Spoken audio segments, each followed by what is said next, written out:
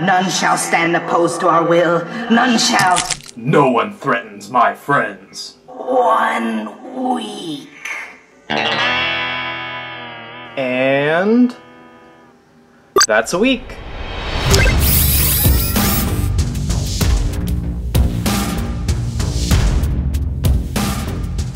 Hey everybody, Stippling here. After the threats made by the pint-sized doomsayer known only as Crossbones, we here at Play Stippling have been on high alert intense anticipation of whatever evil may be looming, from the cult known only as the Discord. But so far, all has been pretty quiet here. Stipalu and I have recruited the aid of all of our heroic creations in an attempt to secure ourselves from any enemy infiltration. On the ground, we have the Protectors of Old patrolling the various vulnerabilities in our defenses. Scout leader standing by. Scout 1 standing by. Scout 2 standing by. Scout 3 standing by. Count 4 standing by. To the skies, we have Warden Arawar and Protector Kiuri watching our backs for potential foes. How's everything looking from up there, guys? All's clear from my vantage, Stippling. Sky's clear. We've even built this anti-portation device that we can use to trap Etok and demand answers should he inevitably appear. As you can see, we've covered all our bases, and it's clearly working because there hasn't been a single- Danger! They've arrived! I'm compromised! Arawar? Arawar, what's going on up there? Kiuri, can anyone hear me? Something's not right. I feel off. I. No! What's happening? Is anyone there? Lindrin, Karakor, anybody? Hey guys, wait. Am I wearing the blindfold again? I only see you. They're all gone, Etok. The Discord took them. All of our defenses were broken. I failed them. Uh. Oh. Well, I better go. Not so fast. All of this has happened because of you. If I'm gonna rescue my friends, I'm gonna need your help finding the Discord. Uh. Okay. But we cannot do this alone. If I've learned anything over the years, it's that even when times are dark and all hope seems lost, you can always count on the six elemental heroes to descend from the skies and. Nope, looks like the Discord took them too. The only hope we have left may be within this bucket. Perhaps I can draw a challenge that can aid me in my rescue mission. Please be something useful for us. Today's challenge is to build a MOC whose skeleton joints are oriented backwards. So instead of going from socket to ball, the build will go from ball to socket. Hopefully I can build something strong enough and powerful enough to help us through this mission. It would seem as though fate is deciding everything for us today, so let's go ahead and let it decide what element our reverse jointed build will be. Two, that would be Kopaka or the ice element. We will have a reverse jointed ice defender protecting us. Let's hope it's something good. No time to lose. I have to rescue my friends. Let's do this.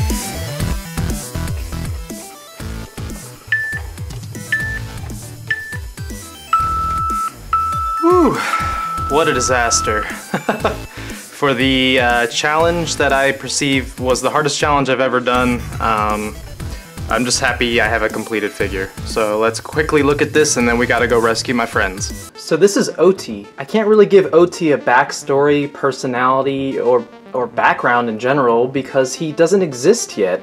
He wasn't born in Okoto, and he currently isn't even active. So I really don't know anything about him. I don't know what kind of personality he's gonna have, or whether he's even good or bad. Uh, hopefully he's good enough that he'll be willing to help me in locating my friends, though.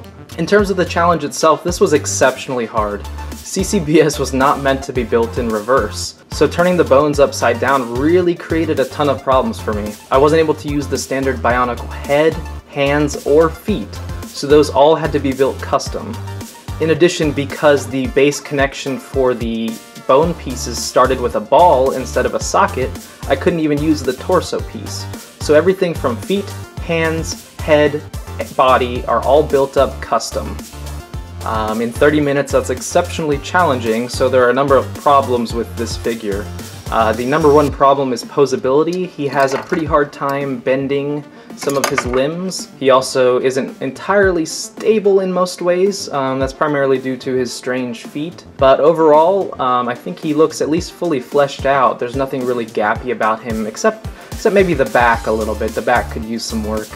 Um, but he's got some strong claws for, for grasping and for clawing at enemies. He's bulky and muscular on his upper arms, and he's even got these little appendages on his back. I don't know if they're they're sensor tails or some other kind of device for maybe measuring temperature. Unfortunately, that's all I really have time with for Oahti. I've got to get him activated and I got to get going searching for my friends.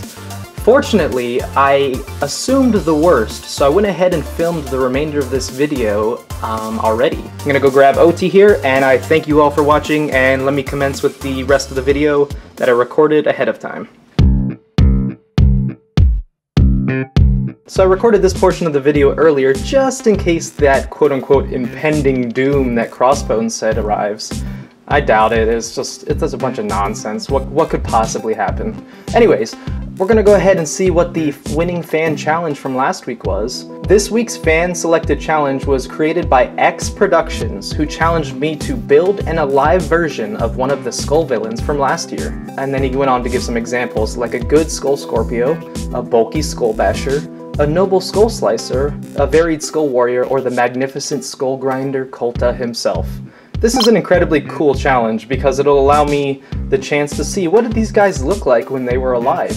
I was pretty happy with having exactly 10 challenges in the bucket, and I was just going to keep adding one each time to maintain that 10. However, I had a great suggestion by someone by the name of Robin Hanson, who told me to pick two more challenges out of the bucket and incorporate them into one build. So essentially this would be a combiner of two challenges. The reason why I don't necessarily want to consider this the fan selected challenge is because I'm not exactly going to do what Robin requested.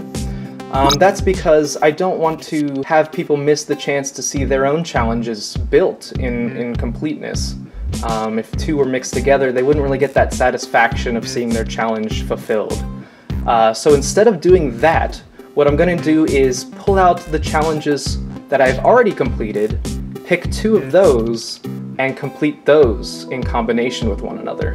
If you have a great idea for a challenge for the next 30 minute MOC video, please post your suggestions in the comments section below. This week had a tremendous amount of fantastic suggestions and it was really hard for me to come up with just one to choose from. Um, so you'll see in the honorable mentions sections that there were some fantastic ideas that unfortunately I just didn't pick. Uh, as always, remember that the comment section below is the only place I will look when choosing next week's challenge. I hope that all the precautions I have taken to prevent any sort of catastrophe were excessive and unnecessary, and that you, the viewer, are watching the end of this video knowing that me, Stipalu, and the gang are all safe and sound. But if for whatever reason that's not the case, and things didn't pan out as good as I hoped, well then I really hope that I see you all again and, and that whatever dangers lay ahead can be conquered, can be conquered by a quick-witted mind, and, and by building things differently. If I'm in danger, then I guess just wish me the best of luck. Thanks for watching.